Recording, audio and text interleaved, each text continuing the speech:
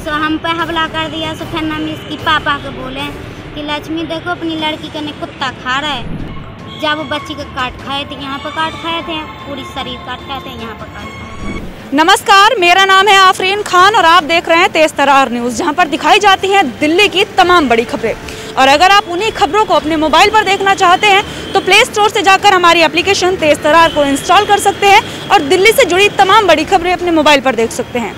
देखिए, अमूमन जो जानवर होते हैं, वो बेहद ही प्यारे होते हैं। हम सबको जानवरों से काफ़ी लगाव भी होता है, लेकिन आज का जो मैं मामला आपको बताने जा रही हूँ, उसे सुनकर आपको भी बेहद ही हैरानी हो सकती है। जी हाँ इस वक्त मैं मौजूद हूँ दिल्ली के मोती नगर इलाके में, और यहाँ से एक हैरत अंगेज मामला सामने आया है। जी हाँ दरअसल मोती नगर के एक पार्क में तीन साल की मासूम बच्ची खेल रही थी, लेकिन उसी पार्क में जो आवारा कुत्ते हैं, उन्होंने अचानक से उस बच्ची पर हमला बोल दिया।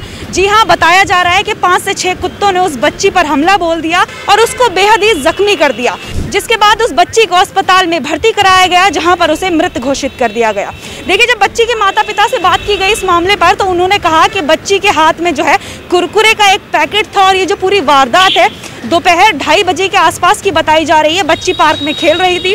रोज़ाना की तरह ही बच्ची पार्क में खेल रही थी। ढाई बजे का जो है समय हो रहा था और बच्ची के हाथ में जो है एक कुरकुरे का पैकेट था। शायद उसी के ऊपर जो कुत्ते थे, उन्होंने हमला बोल दिया, झपट्टा मार दिया।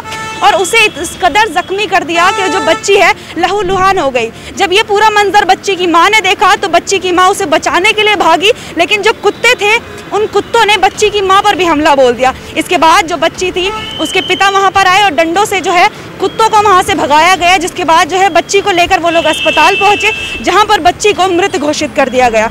तो देखिए जो, मैंने जैसा आपको शुरू में ही बताया कि जो जानवर होते हैं, अमूमन हम उनसे बेहद ही प्यार करते हैं, बेहद ही ज़्यादा वो ईमानदार वफादार होते हैं लेकिन ये जो मामला सामने आया है इसमें जो है एक मासूम बच्ची की जो है आवारा कुत्तों ने बेरहमी से जान ले ली। इस पूरे मामले पर अगर दोषी करार दिया भी जाए तो किसे दिया जाए? इस पूरे मामले को बताने के लिए भी जो शब्द है वो बेहद ही कम पड़ जा रहे हैं। सब मामला हम काम कर रहे थे। से यहाँ पे बच्चे खेल रहे थे।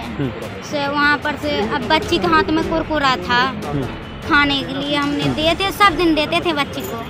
सो खाने के लिए दिया था सब खाने के लिए कुत्ते ने दौड़ा था कि किसके लाजे दौड़ा था से हमको पते नहीं है सो हमने रोवे की आवाज़ सुना सो फिर हम अपनी बच्ची के पास आए। सो बच्ची के पास आए फिर बच्ची को हमने छुड़ाने गए। सो कुत्ता ने हम पे हमला कर दिया। सो हम पे हमला कर दिया सो फिर हम इसकी पापा को बोले कि लक्ष्मी देखो अपनी लड़की का ने कुत्ता खा रहा है। सो उन्हें आया से उन्हें ब- फिर लठ लेके सो कुत्ता का हमसे छुड़ाया। सो बच्ची का ना फिर जब वो बच्ची का काट खाए थे यहाँ पर काट खाए थे पूरी शरीर काट खाए थे यहाँ पर काट खाए तो फिर भी हमने बेहोश हो गया ये नहीं पता कि हमें बच्ची को कहाँ कितने कितने कुत्ते थे? तीन चार कुत्ते थे। अच्छा कुत्ते रोज पार्क में रहते थे? हाँ रोज रहते हैं पार्क। बच्ची खेलती भी थी आप बता रहे हाँ रोजिंदा खेलते थे उसी कुत्ते के साथ? हाँ। अच्छा तो कभी पहले कभी नहीं काटा? पहले कभी नहीं काटा था। अब पहले काटते थे तब तो मुझे समझ में आता कि ये कुत्ता ने काट दी है। हम्म, सो हमको पता नहीं थे सो हमने खेलने छोड़ दिया। हम्म। उनके खाने के लिए दे दिया।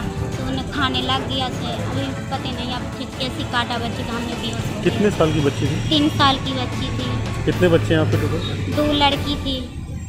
से एक लड़की छोटा सा है सो अपनी पास रखते हैं। वे हमारा पास रहते नहीं है खेलने के लिए चली आप लोग यहाँ पर किस चीज़ का काम कर रहे थे? पार्क की काम करते। हैं क्या काम कर रहे हैं पार्क जो हेज गुरा करते हैं हम्म। गमला गुरा करते हैं। डीडीए की तरफ़ से? हाँ। और ये जो कुत्ते थे ये कोई पालतू कुत्ते थे या मतलब ऐसे ही आवारा मतलब ये अवारे कुत्ते हैं यहाँ पे। ये रोजिंदा आते जाते हैं ये नहीं पता है कि कहाँ से आते हैं। देखिए, आपको बता दूँ, ये जो घटना बताई जा रही है, ये सत्रह तारीख की बताई जा रही है, दोपहर को ढाई बजे के तकरीबन ये जो पूरी वारदात है, ये हुई। ढाई बजे जो है, बच्ची रोज़ की तरह ही पार्क में खेल रही थी। जो बच्ची के माता पिता हैं, वो डीडीए का एक पार्क है, उसी में काम करते हैं।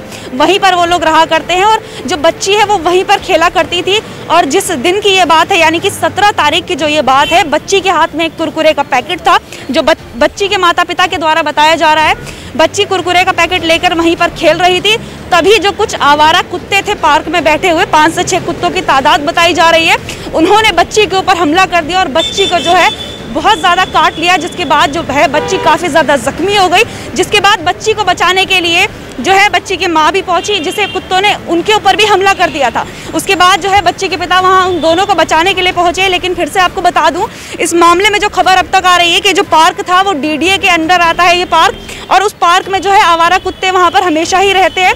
लेकिन कभी भी ऐसा कोई मामला वहाँ पर सामने नहीं आया, ये एक पहला ही ऐसा मामला है जिसमें आवारा कुत्तों ने जो है बच्ची के ऊपर हमला कर दिया और उसे मौत के घाट उतार दिया। देखिए, ये जो मामला है, पुलिस स्टेशन में जा चुका है। अब यहाँ पर देखने वाली बात ये होगी कि किसके ऊपर इस मामले में कार्रवाई होती है, क्योंकि ये जो पूरा मामला है, डीडीए के अंदर वो पार्क आता है तो ये सारी जो ज़िम्मेदारी है, इसकी मेंटेनेंस की, पार्क की, जो पार्क में आवारा कुत्ते घूम रहे हैं, ये डीडीए के अंडर आता है, डीडीए की ये ज़िम्मेदारी बनती है।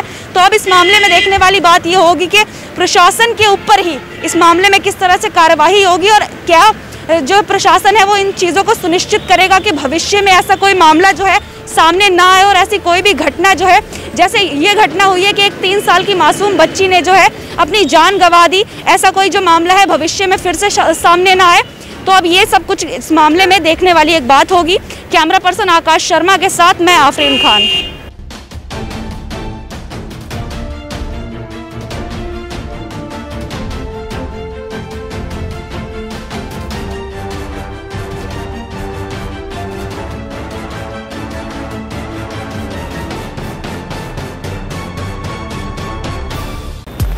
अगर आपको हमारी ये वीडियो पसंद आई हो तो इसे लाइक एंड शेयर करना ना भूलें। साथ ही हमारे चैनल को ज़रूर सब्सक्राइब करें। इसके साथ ही बेल आइकन भी ज़रूर दबाएँ, जिससे दिल्ली से जुड़ी तमाम खबरों की नोटिफिकेशन सबसे पहले आप तक पहुँचे।